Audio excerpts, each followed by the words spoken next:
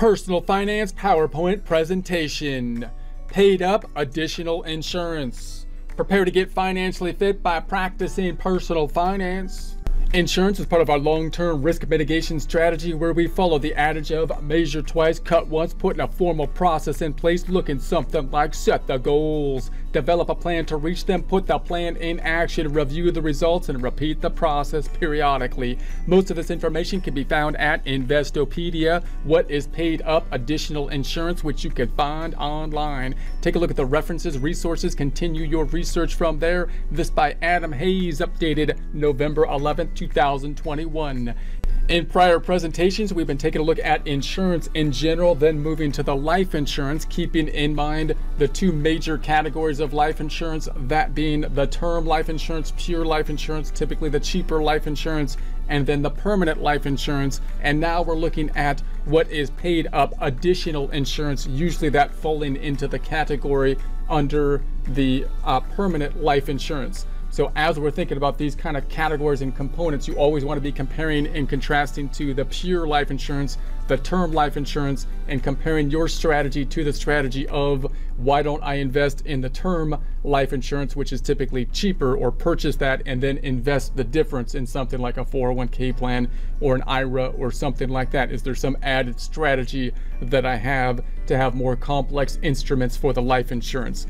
Keeping that in mind, what is paid up additional insurance? Paid up additional insurance is additional whole life. So we're looking at the whole life, which is part of the permanent side of things. Insurance coverage that policyholders purchases uses uh, using the policy's dividends instead of premiums. Paid up additional insurance is available as a rider on a whole life policy. It lets policyholders increase their death benefit and living benefit by increasing the policy's cash value the cash value being that kind of investment component when we're talking about a whole life policy, which is under the category of the permanent insurance as opposed to the term or pure insurance. So paid up additions themselves then earn dividends and the value continues to compound indefinitely over time. The policyholder can also surrender paid up additions for their cash value or take a loan against them. So we talked about some of the benefits of having that cash value uh, in terms of possibly if you need to get access to it, you might be able to take a loan against it using that cash value as collateral, for example. Understanding paid up additional insurance.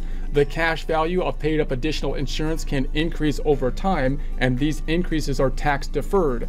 So remember, you got this kind of tax deferred component, but you also want to keep in mind that if you want to compare that to term insurance, which doesn't have the cash value, but which is typically cheaper, you'd be saying, well, why don't I purchase the cheaper term insurance and invest the difference where I could possibly get tax benefits such as putting it into an IRA or a 401k. Possibly you have more complex uh, tax strategies uh, than that, but you want to keep those in mind as a comparison. Another benefit is that the policyholder can use them to increase coverage without going through medical underwriting. That could be beneficial because the medical underwriting, if there's higher health uh, risks, then could impact what the premiums would be if you had to go through that to make any adjustments. This is not only convenient, but also extra, uh, extra value for a policyholder whose health has declined since the policy was originally issued and who can't increase insurance coverage through other means because of that health condition, which obviously would increase the risk to the insurance company that you're going to die, which wouldn't be good for the life insurance company.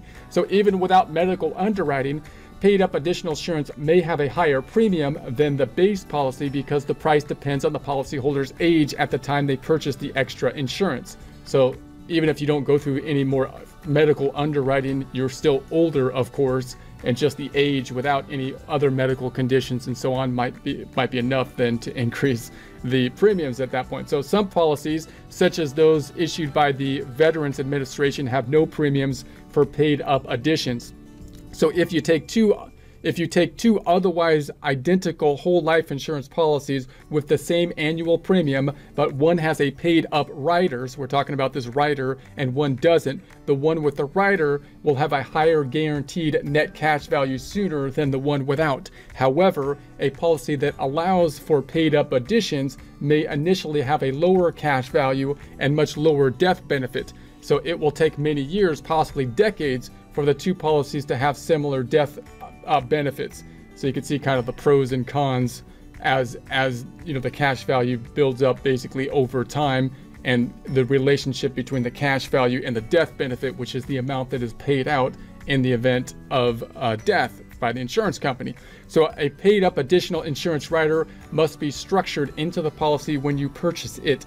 So if you want that rider, then that's something you got to be considering at the purchase point. And again, you want to think about these kind of things before uh, you you purchase them because when you're talking to an insurance company, you're talking to basically a sales agent. So the more kind of riders and stuff involved, more likely more expensive the policy will be. And if they're making a commission on it, then they may be likely that they're going to be advising those things. So you want to have your own strategy in mind, possibly making your strategy with someone other than, say, the insurance company or insurance broker, and so that so that you could go in knowing what's best you know for you as you're looking at these different tools. So some companies may allow you to add it later uh, but health age and other factors could make it more difficult.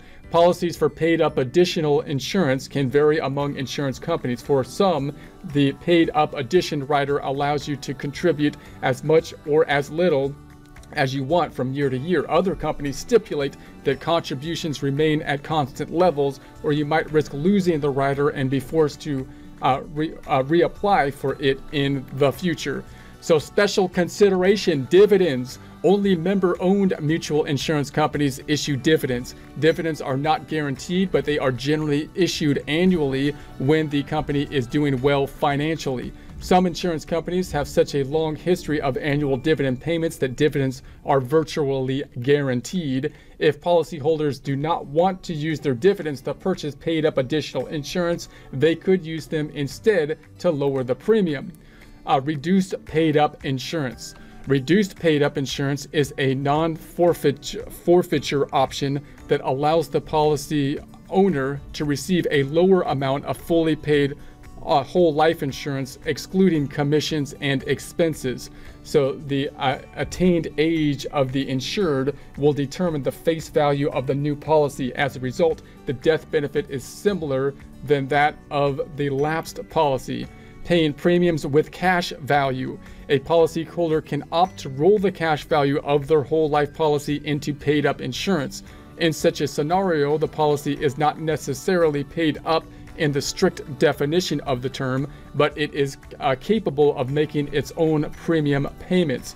Depending on the type of policy and how well it is it has performed, a policyholder may have to resume uh, premium payments in the future, or it may reach a point where the premiums are covered for the rest of the life of the policy by the cash value.